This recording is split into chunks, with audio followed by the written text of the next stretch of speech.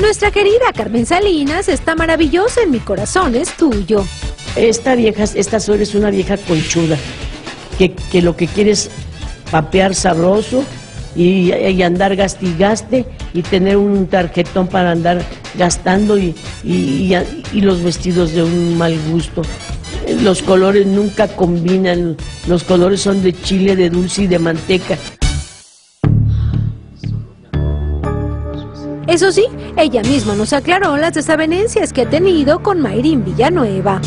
Yo no estoy muy de acuerdo en todo lo que ella hace y luego la regaño, sobre todo me acuerdo cuando avienta a Emilio, eh, eh, al, hijito de Juanito, y que, yo le digo, no le hagas eso al niño, nomás eso me faltaba. Y, y, y, este, o sea que del todo no, no me gusta a mí que ella actúe así, pero tenemos que sujetarnos a lo que nos indica un guion y nos indican los directores.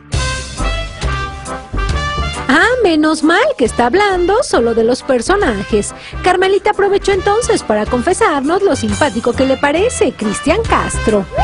Es que el otro día que salió vestido de mujer y luego que traía las, las dos piernas así de fuera y se le veían los, los calzones todos aguados, los traías hueco. Te voy a regalar unas truzas que te queden bien apretaditas, hijo. Ay, antes no se te salió nada ahí. Pero los calzones ya todos solanudos, ya, ya todos soy llamados, ya todos. Y entonces este me hace reír mucho, ¿no? Y como nuestra Carmelita es una experta en esos dichos y frases mexicanas, vacilamos con eso y miren lo que descubrimos. al alguno que, que, se sienta muy, muy, muy fregón y que diga, no, porque yo canto, porque, ay, por favor, no sabes la cucaracha y quieres tocar Chopin, no, hombre.